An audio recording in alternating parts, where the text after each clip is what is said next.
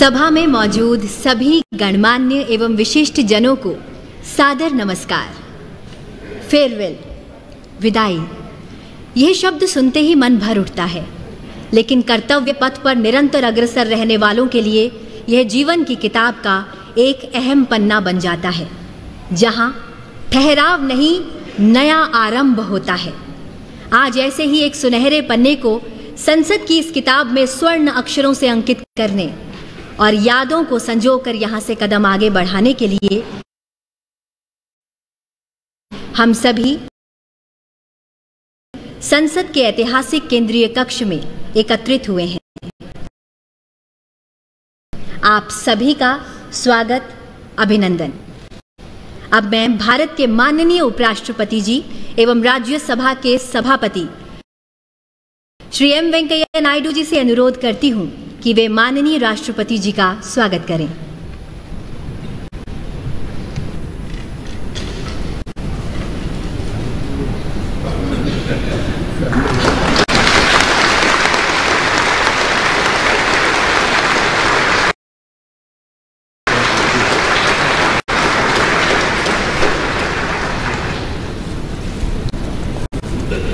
धन्यवाद माननीय उपराष्ट्रपति जी।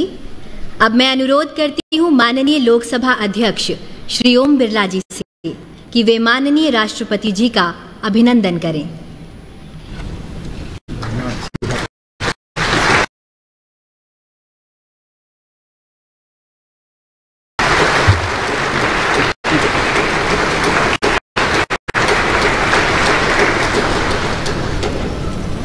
धन्यवाद मान्यवर।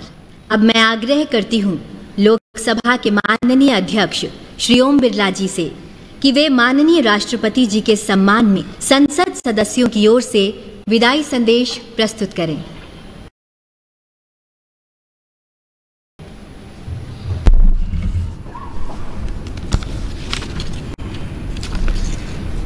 माननीय राष्ट्रपति जी, माननीय उपराष्ट्रपति जी, माननीय प्रधानमंत्री जी माननीय मंत्रीगण, संसद के दोनों सदनों के माननीय सदस्यगण, अतिथिगण, माननीय राष्ट्रपति जी के प्रति हम सबके भावों की अभिव्यक्ति करने वाला एक सम्मान पत्र मैं अब आपके समक्ष पढ़ना चाहता हूँ। माननीय राष्ट्रपति महोदय, श्री रामनाथ कोविंद जी, भारत की संसद के दोनों सदनों के सदस्यों के लिए आज गर्व का अवसर है कि जब वे राष्ट्र की ओर से आपके प्रति कृतज्ञता, सम्मान, श्रद्धा और साधुवाद व्यक्त करने के लिए एकत्रित हुए हैं। भारत गणराज्य के राष्ट्रपति के रूप में पाँच वर्ष के कार्यकाल के दौरान आपने इस सर्वोच्च पद की गरिमा और शालीनता को नव उत्कर्ष प्रदान किया है। इसके लिए हम सब हृदय से आपका आभार प्रकट करते हैं। महोदय, उत्तर प्रदेश के कानपुर ज़िले के एक छोटे से गाँव, परोक्ष से भारत के राष्ट्रपति के शीर्ष पद तक पहुँचने की आप यात्रा हमारे लोकतंत्र की एक अद्भुत एवं प्रेरक उपलब्धि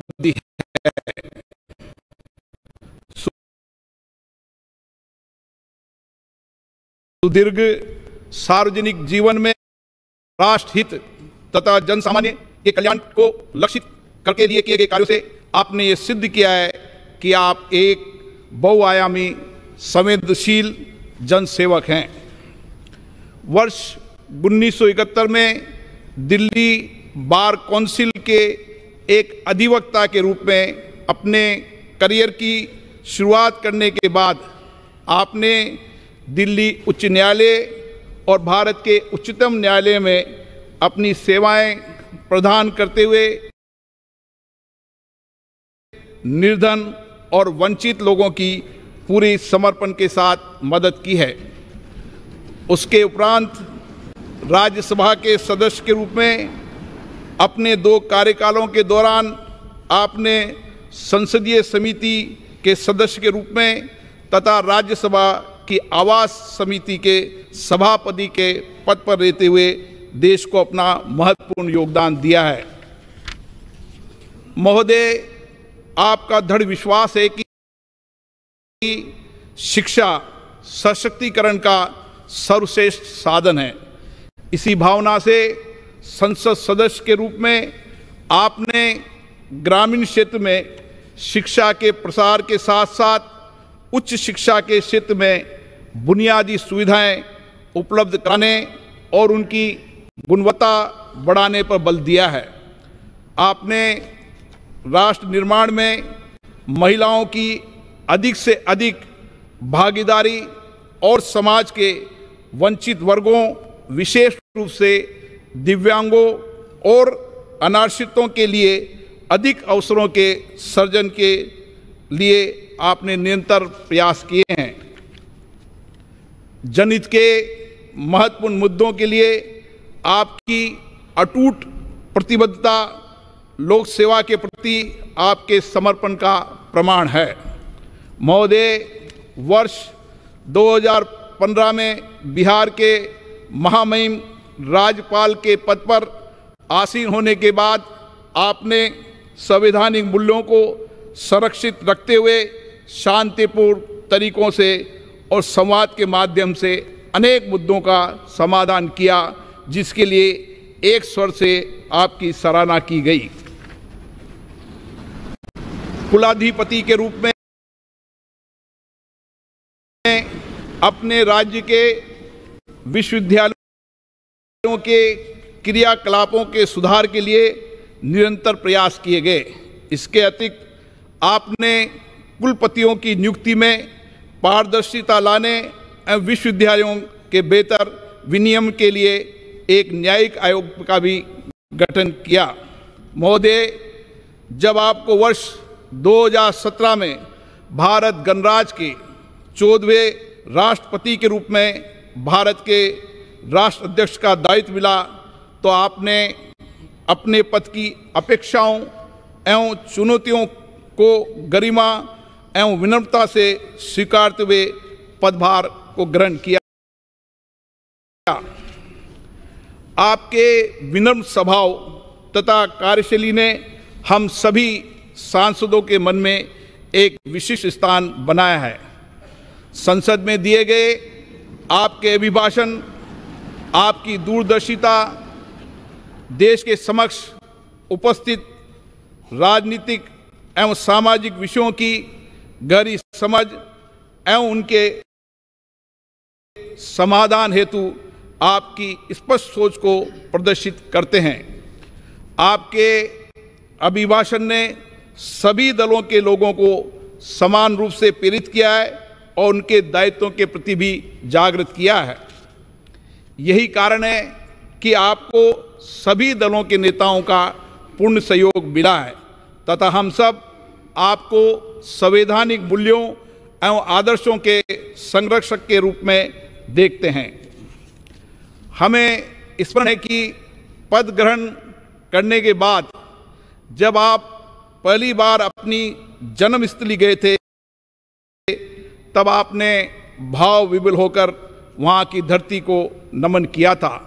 तथा कानपुर की अपने शिक्षण संस्थान में आपने मंच से नीचे उतरकर शिक्षकों का चरण स्पर्श किया था।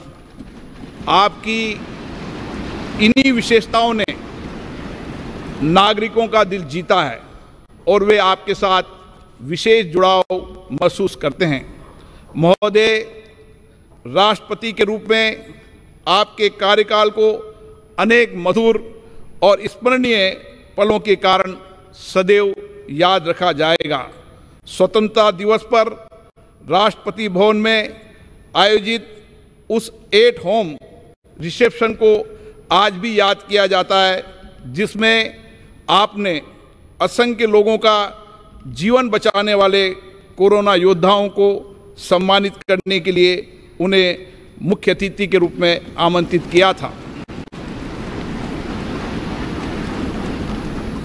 भारतीय सेना के सुप्रीम कमांडर के रूप में मई 2018 में सियाचिन में सबसे ऊंचाई पर स्थित युद्ध क्षेत्र कुमार पोस्ट में तैनात सैनिकों से आपकी ऐतिहासिक मुलाकात, पीएम केयर्स निधि में एक माह के वेतन का दान करने का आपका अनुकरणीय योगदान, कोविड 19 के विरुद्ध संघर्ष के दौरान अधिक धनराशि उपलब्ध कराने के लिए मित्रता के उपायों के साथ एक वर्ष के लिए अपने वेतन के 30 प्रतिशत भाग का परित्याग करना ऐसे कई उदाहरण हैं जो देश की सामूहिक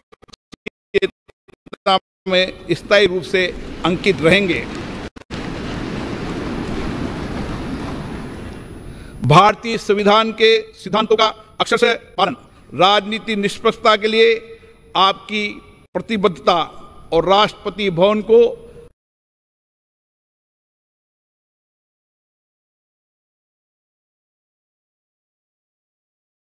आम नागरिकों के लिए सुलभ बनाने जैसे आपके अनुकरणीय कार्य आने वाली पीढ़ियों को सदैव प्रेरित करते रहेंगे। महोदय, आज जब राष्ट्र अपनी स्वतंत्रता के पिछहत्तर वर्ष में है, हमारा सौभाग्य कि हम आपके दूरदर्शी एवं अनुभवी मार्गदर्शन में अमृत काल में प्रवेश कर रहे हैं। आप राष्ट्रपिता महात्मा गांधी, बाबा साहेब अंबेडकर, श्यामा प्रसाद मुखर्जी व पंडित दीनदयाल उपाध्याय जैसे महान नेताओं से प्रेरित रहें। आपकी सरलता, विनम्रता तथा परहित को सौहित से अधिक महत्व देने के स्वभाव से ये स्पष्ट है कि आपने इन महापुरुषों के विचारों और शिक्षाओं को अपने जीवन में अनुसरण किया है। हमें पूर्ण विश्वास है, आपके विचार तथा आपका व्यक्तित्व वर्तमान के साथ भावी पीढ़ी के लिए भी प्रेरणा स्रोत बने रहेंगे। हम आपके स्वस्थ जीवन और दीर्घायु होने की कामना करते हैं। जय हिंद।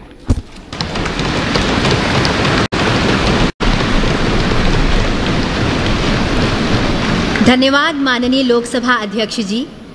अब मैं आपसे अनुरोध करती हूँ कि आप माननीय राष्ट्रपति जी को विदाई संदेश भेंट करें।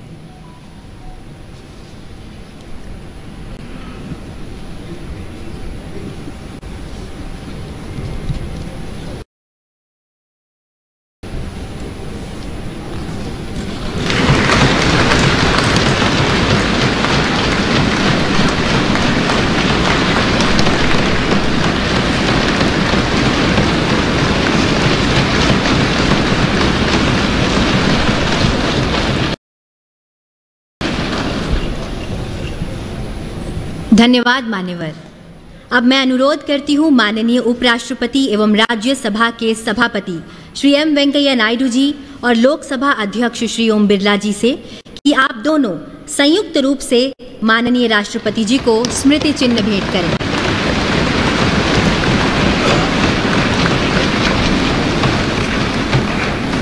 अब आप दोनों से अनुरोध है कि आप माननीय राष्ट्रपति जी को हस्ताक्षर पुस्तिका भेंट करें।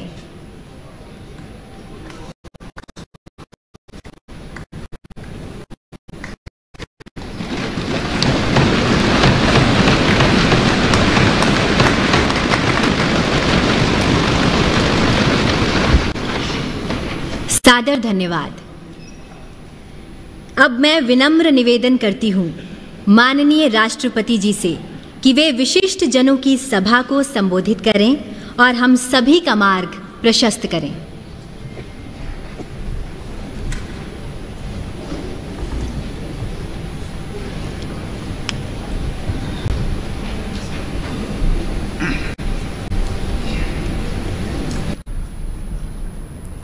राष्ट्रपति श्री एम वेंकैया नायडू जी, प्रधानमंत्री श्री नरेंद्र मोदी जी, लोकसभा के अध्यक्ष श्री ओम बिरला जी राज्यसभा के उपसभापति श्री हरिवंश जी, सभी सम्मानित सांसदगण, विशिष्ट अतिथिगण, देवी और सज्जनों, आज आप सबसे जब मैं विदा ले रहा हूँ तो मेरे हृदय में अनेक पुरानी स्मृतियाँ उमड़ रही हैं। इसी परिसर में जिसे सामान्यतया सेंट्रल हॉल के रूप में जाना जाता है। बरसों तक एक सांसद के रूप में मैंने ना जाने कितने सहयोगी सांसदों के साथ यादगार पल बिताए। पाँच साल पहले इसी सेंट्रल हॉल में मैंने राष्ट्रपति के पद की शपथ ली थी। सांसद होने के नाते आप सभी का इस लोकतंत्र के मंदिर में एक प्रतिष्ठित स्थान है। और मेरे हृदय में भी आप सबके लिए एक विशेष स्थान है और सदैव बना रहेगा।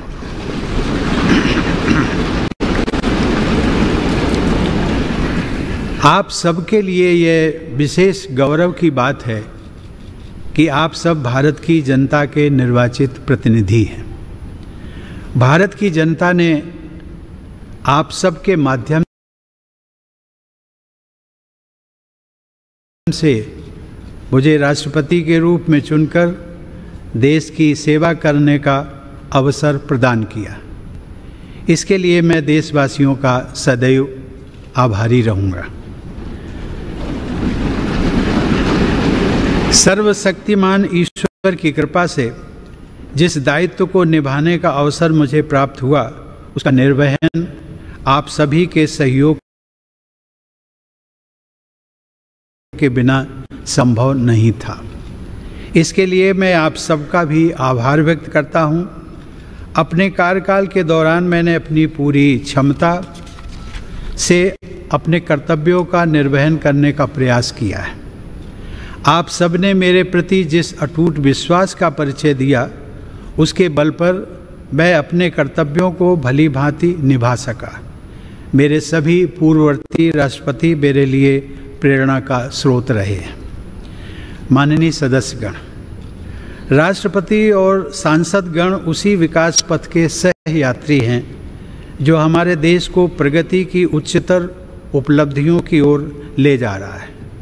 इस पथ को प्रशस्त करने वाली महान विभूतियों ने हमारे संविधान की रचना करके हमारी लोकतांत्रिक व्यवस्था की नींव रखी। यद्यपि संविधान सभा के सदस्यों को ही हमारे संविधान की रचना का श्रेय जाता है, लेकिन वह ऐतिहासिक कार्य उन्होंने भारत के लोगों के प्रतिनिधि के रूप में किया था। इसीलिए हमारा संविधान, हम भारत के लोगों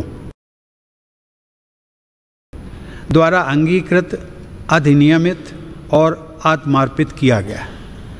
भारत के लोग ही अपने प्रतिनिधियों, अर्थात आप सभी माननीय सांसदों के माध्यम से अपने गणतंत्र की यात्रा का मार्गदर्शन करते हैं।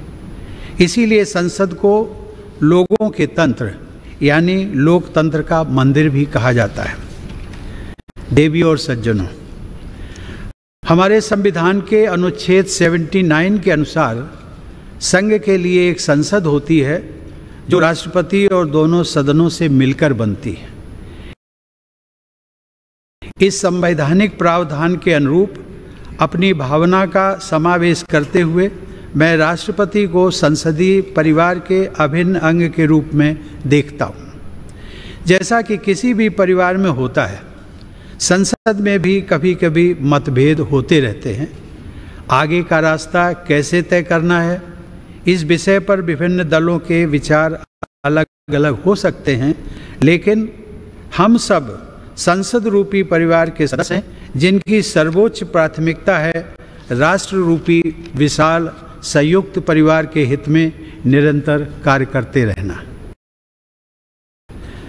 राजनीतिक प्रक्रियाएँ राजनीतिक दलों के अपने तंत्रों के माध्यम से संचालित होती हैं, लेकिन पार्टियों को दलगत राजनीति से ऊपर उठना चाहिए और राष्ट्र सर्वोपरि की भावना से यह विचार करना चाहिए कि देशवासियों के विकास और कल्याण के लिए कौन कौन से कार्य आवश्यक हैं?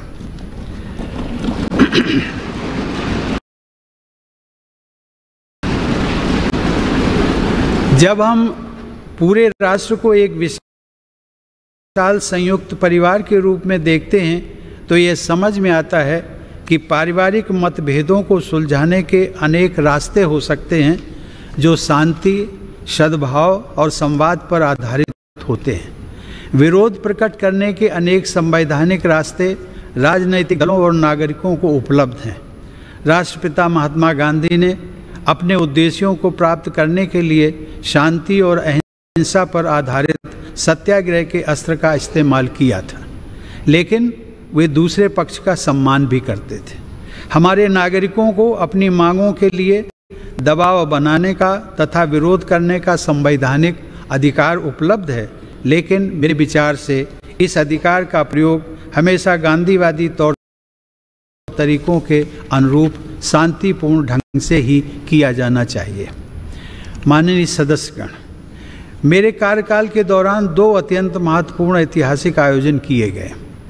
राष्ट्रपिता महात्मा गांधी की 150वीं जयंती के उपलक्ष्य में अनेक यादगार समारोह पूरे देश में आयोजित किए गए। इस संदर्भ में मैं स्वच्छ भारत अभियान की परिवर्तनकारी उपलब्धियों का उल्लेख करना चाहूँगा। यह कहा जा सकता है कि स्वच्छता का यह राष्ट्रीय अभियान सरकार और देशवासियों की ओर से महात्मा गांधी के प्रति सच्ची श्रद्धांजलि रहा है।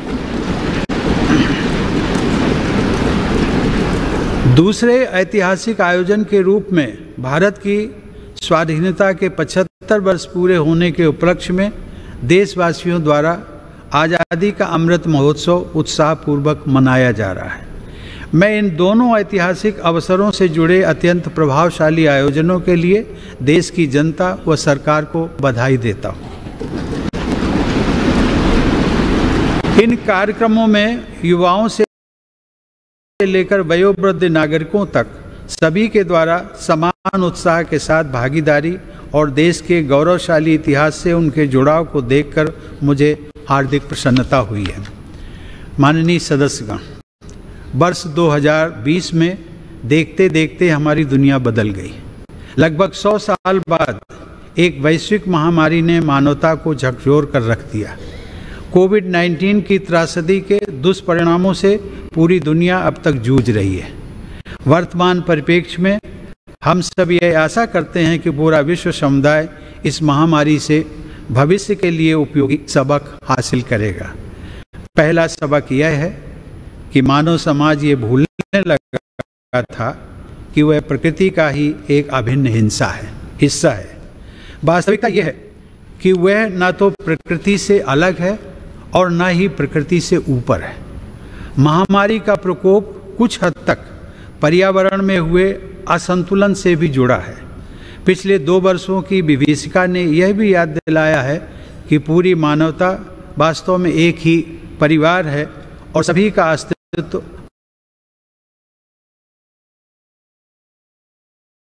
आपसी सहयोग पर निर्भर करता है।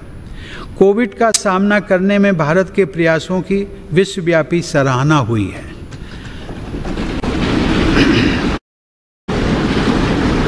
सबके प्रयास से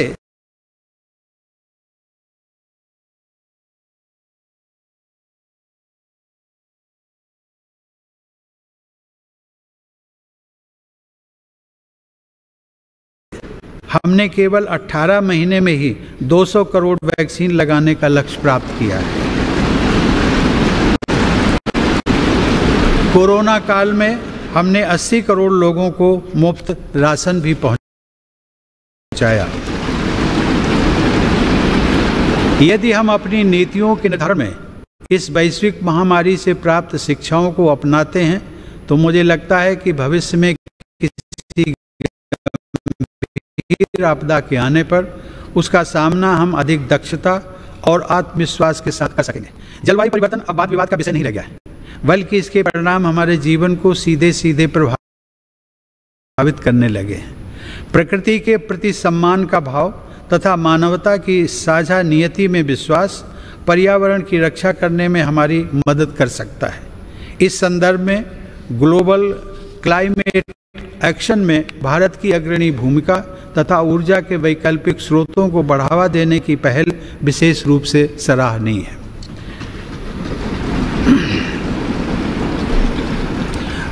माननीय सदस्यगण, जब मैं जन सेवक के रूप में अपने और सरकार के प्रयासों के बारे में सोचता हूँ तथा अपनी पूरी पीढ़ी की ओर से विचार करता हूँ तो हमें यह स्वीकार करना पड़ता है कि समाज के हाशिए पर जीवन यापन करने वाले लोगों के जीवन स्तर को बेहतर बनाने के लिए हालाँकि बहुत कुछ किया गया है, लेकिन अभी भी बहुत कुछ किया जाना बाकी है। हमारा देश धीरे धीरे ही सही लेकिन सधे हुए कदमों से डॉक्टर आम्बेडकर के सपनों को साकार करने की दिशा में आगे बढ़ रहा है। मैं मिट्टी से बने एक कच्चे घर में पला बढ़ा हूँ। लेकिन अब ऐसे बच्चों की संख्या बहुत कम हो गई है, जिन्हें आज भी उन कच्चे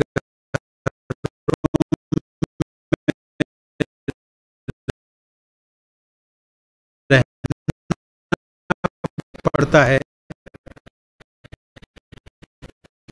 जिनमें छत से पानी टपकता हो। आज बड़ी तादाद में हमारे गरीब भाई बहनों के पास भी पक्के घर हैं। यह बदलाव काफ़ी हद तक सरकार के विशेष प्रयासों से संभव हो सका अब हमारी बहुत सी बेटियों और बहनों को पीने का पानी लाने के लिए मीलों पैदल नहीं चलना पड़ता है, क्योंकि हमारा प्रयास है कि हर घर नल से जल पहुँचे। हमने हमने हर घर में टॉयलेट्स भी बनवाए हैं, जो एक स्वच्छ और स्वस्थ भारत के निर्माण की नींव डाला है, नींव डाल रहे हैं। सूर्यास्त के बाद लालटेन या दिया जलाने की यादें भी यादें भी पुरानी हो रही हैं, क्योंकि लगभग सभी गाँवों तक बिजली का उजाला पहुँच गया है। जैसे जैसे हमारे देशवासियों की बुनियादी ज़रूरतें पूरी हो रही हैं, उनकी आकांक्षाओं में भी बदलाव आ रहा है। इस बदलाव का बड़ा रोचक एहसास, पिछले महीने ही मैंने अपनी वृंदावन यात्रा के दौरान देखा।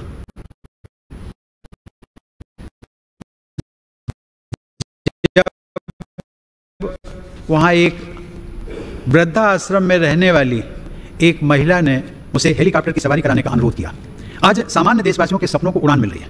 यह बदलाव भेदभाव रहित सुशासन द्वारा ही संभव हो सका है। सामान्य जीवन के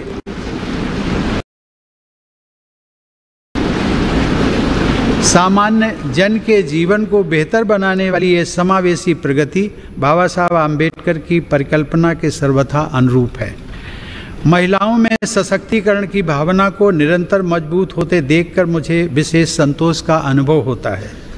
ये सशक्तिकरण युवा पीढ़ी की हमारी बेटियों को और आगे बढ़ा रहा है।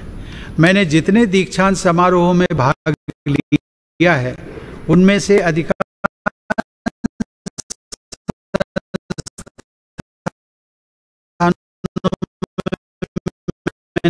मैंने देखा है कि का प्रदर्शन।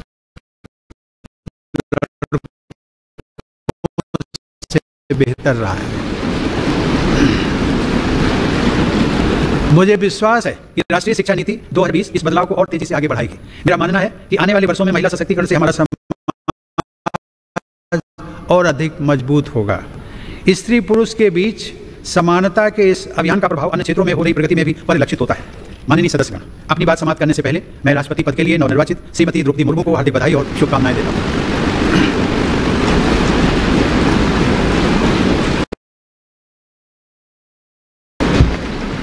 सर्वोच्च संवैधानिक पद पर उनका चुनाव महिला सशक्तिकरण को बढ़ाने के साथ साथ समाज के संघर्षशील लोगों में महत्वाकांक्षा का संचार करने वाला है। पूरे, मुझे पूरा विश्वास है कि उनके अनुभव, विवेक और व्यक्तिगत आदर्श से पूरे देश को प्रेरणा मिलेगी और मार्गदर्शन भी। मैं एक बार फिर आप सभी के प्रति कृतज्ञता व्यक्त करता हूँ।